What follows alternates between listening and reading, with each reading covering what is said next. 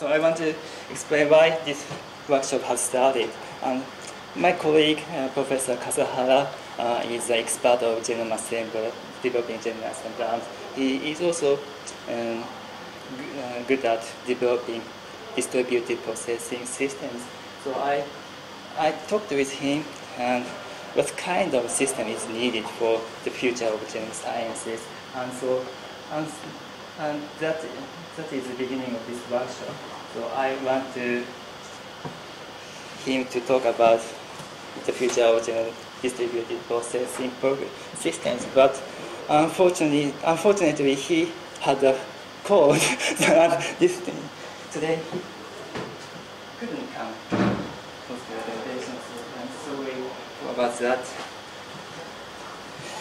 Um, but um, I want to show, um, okay, so the purpose of this workshop is to share the knowledge on what is needed in genome informatics. And fortunately, uh, we have three invited speakers.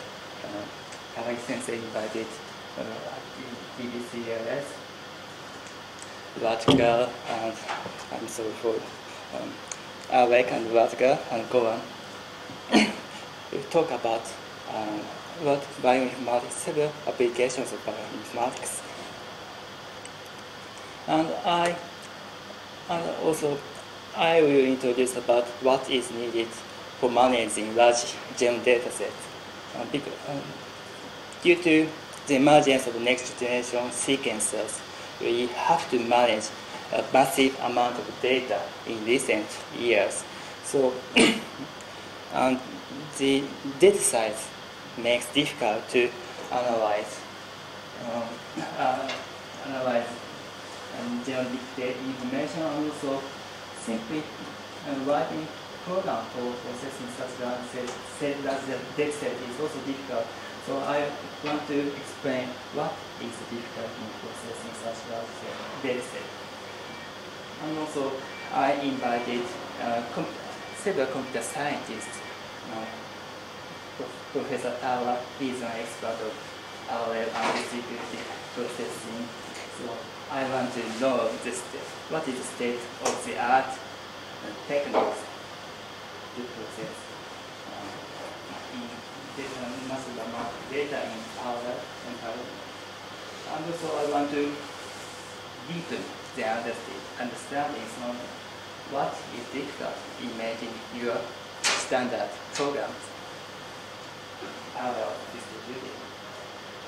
Uh, the, my um, my objective for organizing this workshop is to, I want to find a solution, such solution for efficiently processing large data sets. And so I hope in this workshop we can discuss uh, this topic from various aspects, uh, from system side of view and also application side of view. Uh, for uh, bioinformatic applications such as genome alignment, genome assembly, or comparative genomics, and so on. And also, because of next generation sequencer, even a biologist has to write a simple program. So, but these people are usually not good at writing program or distributed programming. So we have to know what is necessary for such a beginner or programming uh, is needed to write district parallel programs. so I hope uh, you you can make questions at any time for, to um, to share the knowledge and share the understanding. Various people are gathering here, so there's no need no need to mind uh, if you um, the level of knowledge is different for each people. So we have to um, share the understanding between various areas, computer science, bioinformatics, and biology. so here is the program today. I'll about first, then uh, at 10.15, Arek and what we are to talk about. Um, uh, Arek is a project leader of BioMart.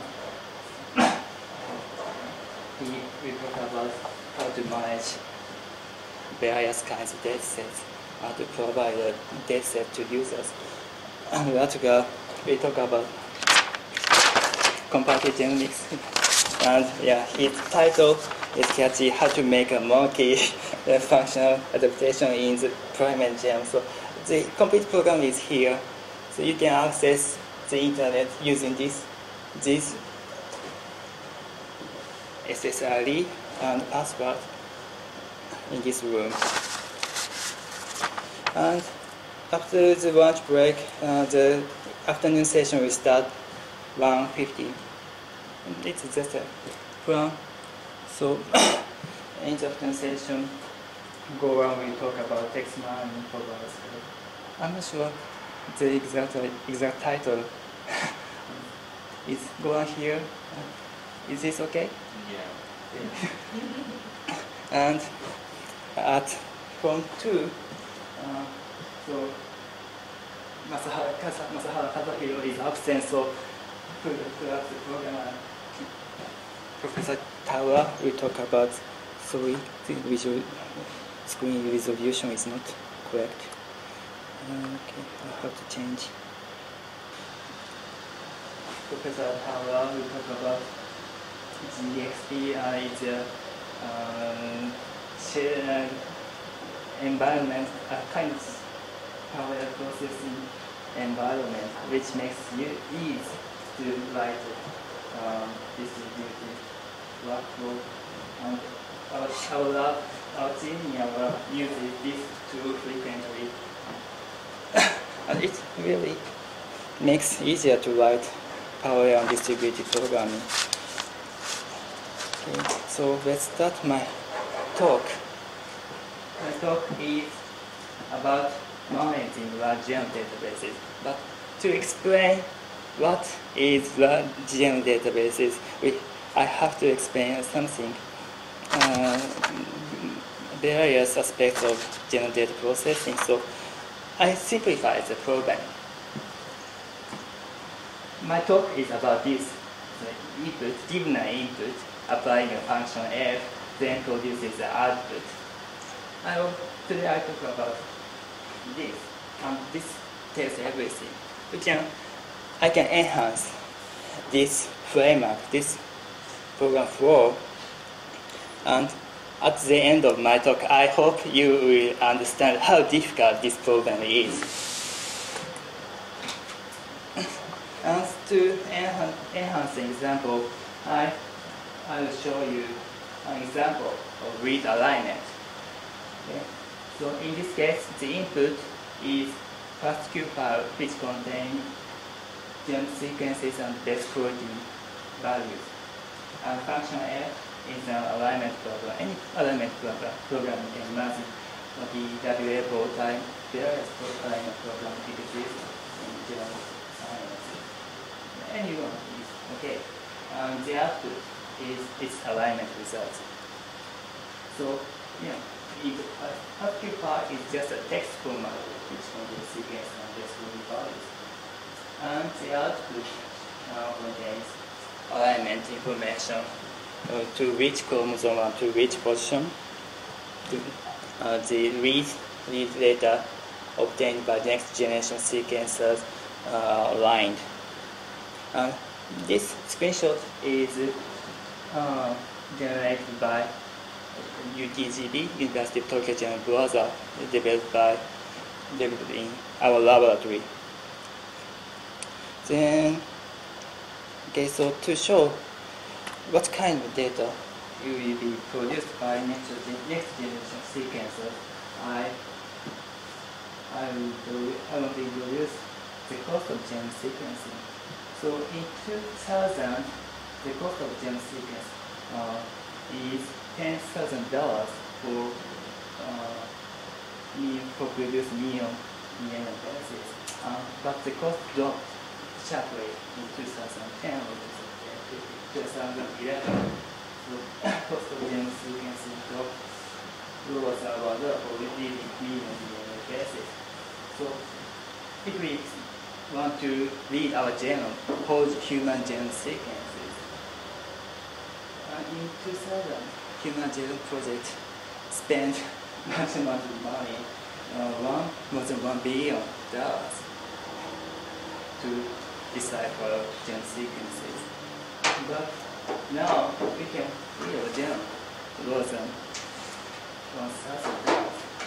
Uh, in, reality, if we use Illumina's genome sequencer, probably uh, we need 50x, 50 fold coverage to detect um, SNPs, uh, uh, homozygous or heterozygous SNPs to detect, to detect them.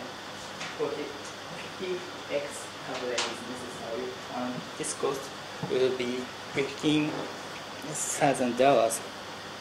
So the target input has this amount, this set. so now the SQL file has uh, 50x coverage human whole genome sequences. and each, um, from my experience, it, its amount is 500 gigabytes of text data. Uh, alignment program. The alignment program is the same, and the output will be 750 gigabytes, which contain sequences, with sequences, and also the alignment data, which co- chromosome uh, start position or uh, alignment state, state, etc. Um, the problem is the working data set. Total state storage space required for storing these input and outputs is 1.2 terabytes. And also this computation needs two to three days if using single CPUs. So we have to, we cannot wait such a long day. So we have to shorten the time needed to process this alignment program and also, and also we have to, we want to reduce the storage space needed for storing these input and output. um, simple strategy is applying compression. For example, using gzip.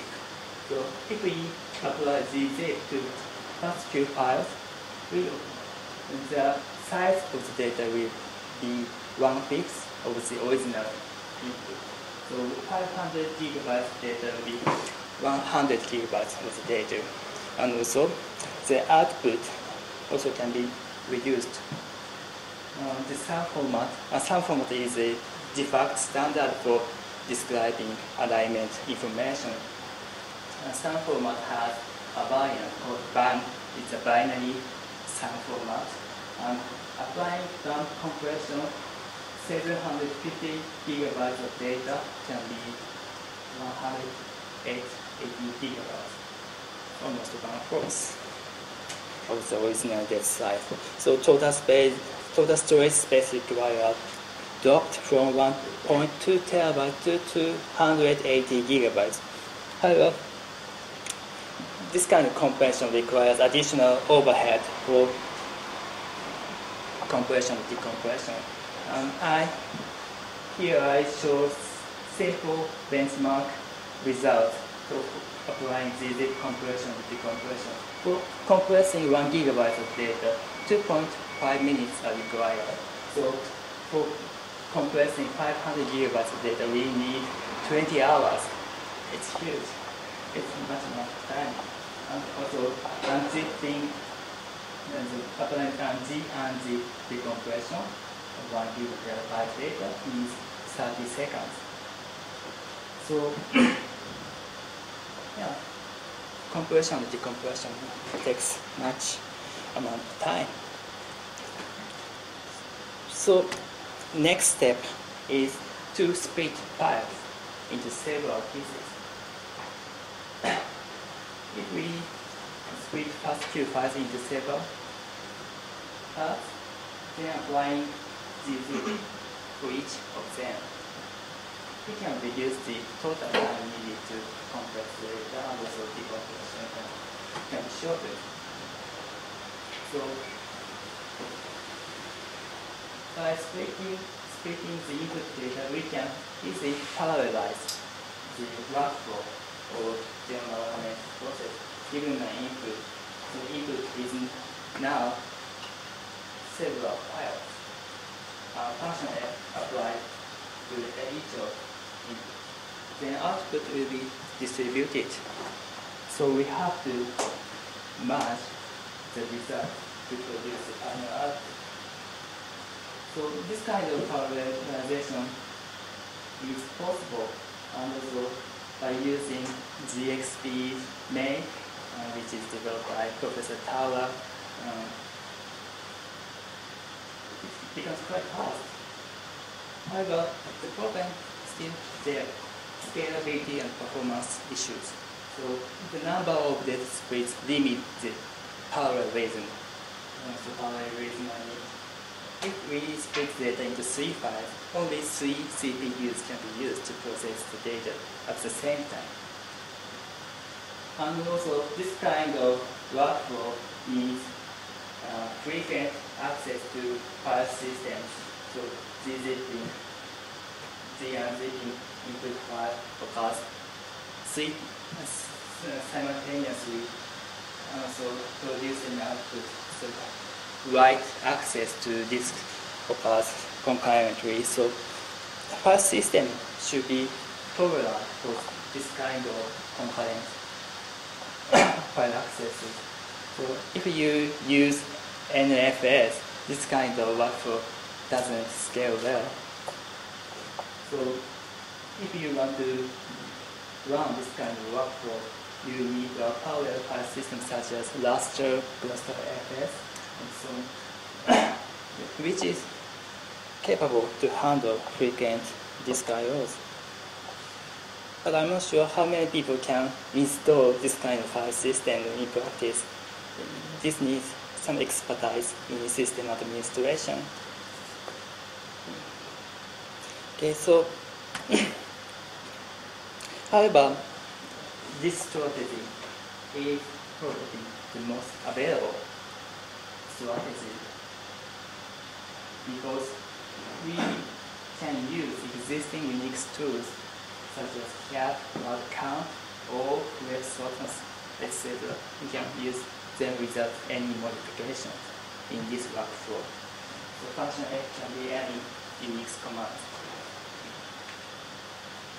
And also other tools for processing biological data plus BWL many tools exist for processing biological data can be used as function F.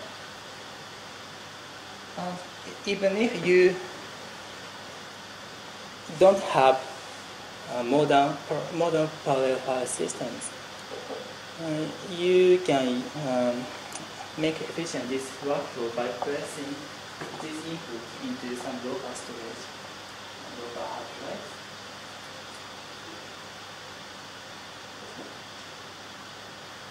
Then you can uh, multiply the number of disk heads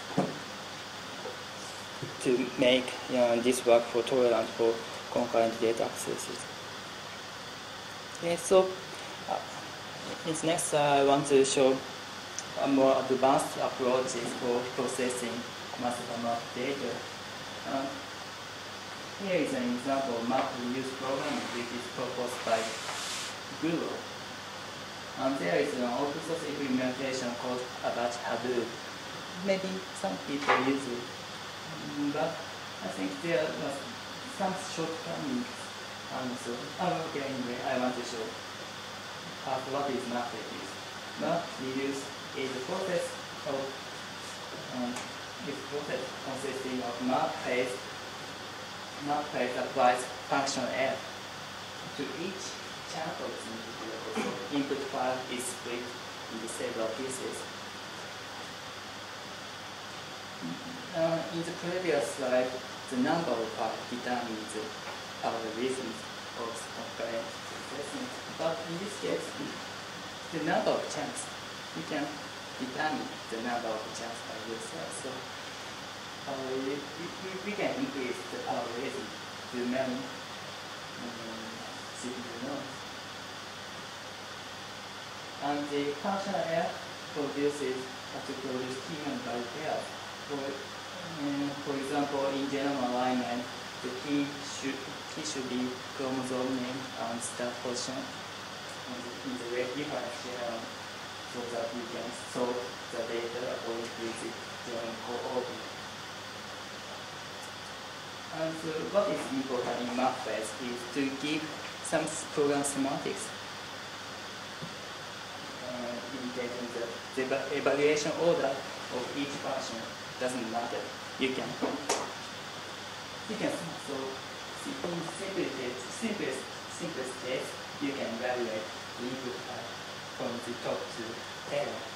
But if you use map function, you you you are saying input file can be split into several pieces and you can apply map function F to each piece of data individually.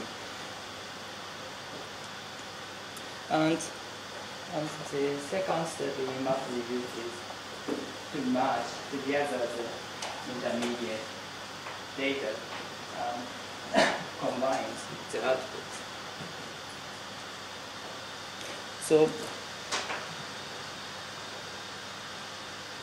MapReduce has to transfer the data from mapper to the users, and each transfer MapReduce uses intermediate files. So to implement map reduce, you need um, frequent disk accesses. So file system should be capable to handle frequent disk IOs to efficiently run MapReduce programs.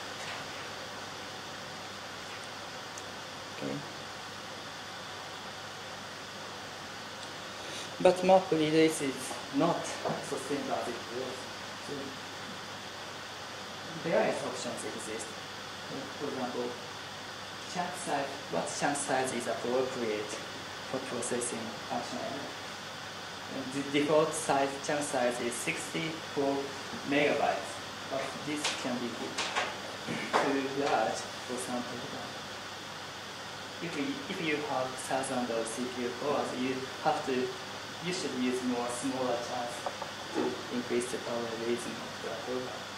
And also, the next problem is where to store these data chunks. If the data chunks are stored into a single file, no parallelism can be obtained. So some, someone has to decide where to store the. So and also replication strategy must be considered and also input file compress or not to compress the input file should be considered. Decompression and compression needs some additional overhead. And so if you store the input file as a raw text, uh, you have to face another problem. Program in text-based processing is very slow.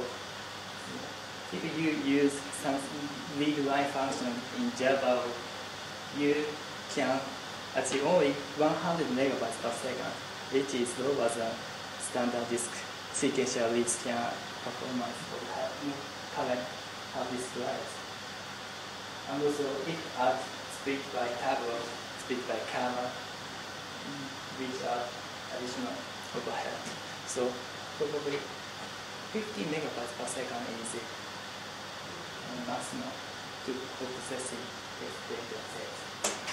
So because of this, there was a debate on which is better, MapReduce or using some Power DB database management system. Um, some database folks uh, argue Hadoop is too slow because it has to process X data at this speed. But Google, Google, Google uh, created a counterpart. Hadoop is indeed slow, but Google's one is not. Because Google's MapReduce uses binary format for processing text uh, input and output records. So the Google's instead of Google's MapReduce, Google said they use protocol buffers, uh, which uh, which produces given an object record definition. Uh, the protocol buffer creates a binary reader writer product. So source code generation script is contained in protocol buffers. And by using this reader and writers, uh, accelerate input and output data processing 80 times faster than simply passing text data. So this is another key. So to improve the performance of uh, large data processing. And so I want to show you another example how to make efficient the data processing and by using columnar storage. Therefore, consider a query to find paired entries whose paired whose insert size is larger than 300 base pairs. Okay, so the input is the same as uh, input. Now uh, some alignment result data is 180 gigabytes. Um, program is a simple script program for extracting some record whose insert size is rather than 300. And the output now chromosome name and start position. So simply processing 180 gigabytes of data uh, is 30 minutes. Uh, if, we use 100 megabytes per second, uh, which is the standard performance for correct hard disk drives. And uh, if we use columnar storage, uh, columnar, storage means extract currents of the required, required field from the data. The amount, uh, this size is given 15 gigabytes, while the original input was 100 gigabytes data. So in this type of, in this query, we only care about this small data set, not the entire data set. So if we have a speed, this speed containing only the necessary requirements. This can finish in less than three minutes by, by using single CPU. We can, if we can use multiple CPUs, we can further increase the performance. Okay. And also the paradigm, input and applying function F and producing the output is still the same. But input can be can vary. We in biology we have to manage we have to use various kinds of data formats. First pass through BED, Salmon bound format, legal format for writing graph graph data, RDA, MX, various formats exist and every year some people develop their own data formats so we have to write adapters to process these data formats. But implementing distributed processing for each data set is uh, a tedious task.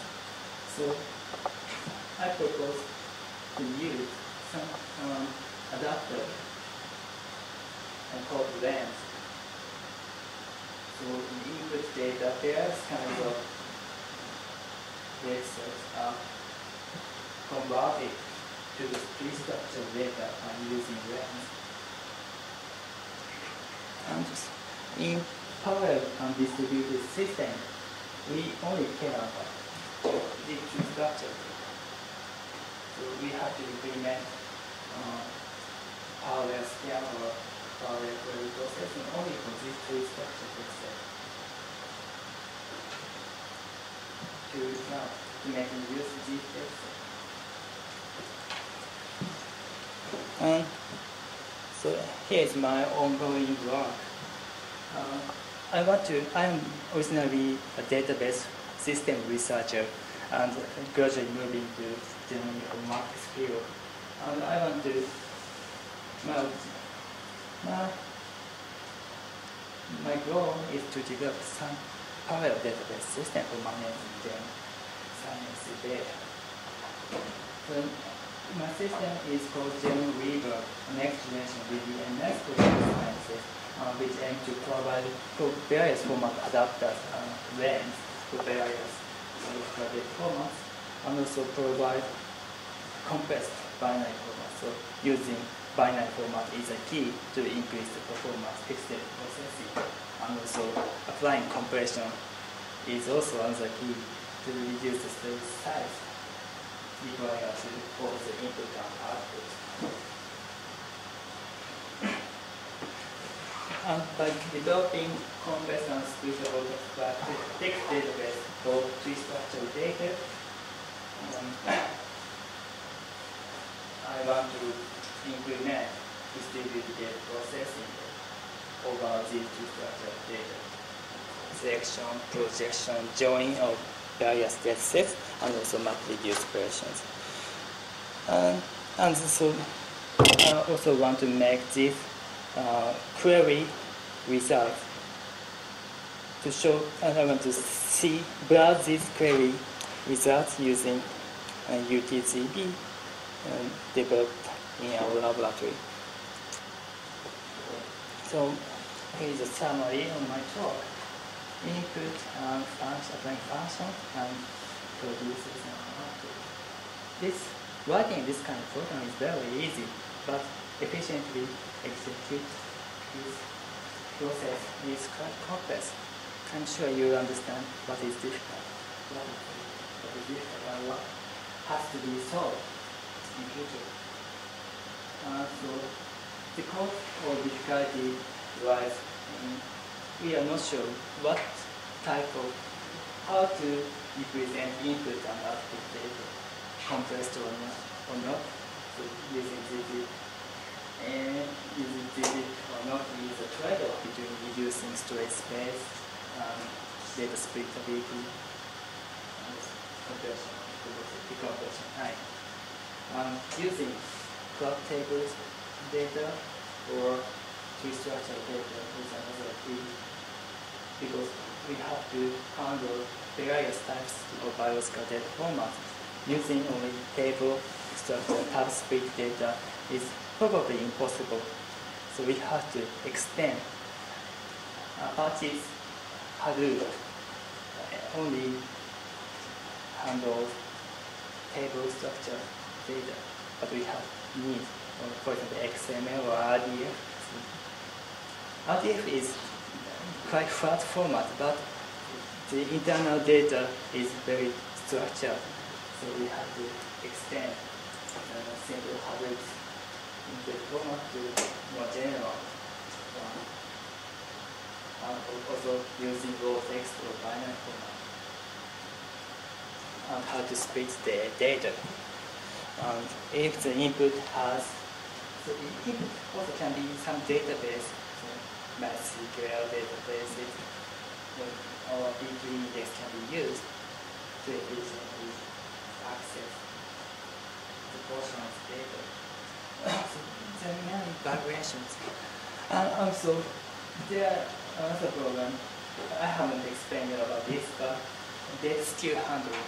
So in genome science, you frequently observe chromosome 1 has the, is the longest length, so the alignment problem is to, for chromosome 1 is, is, long, is the longest time.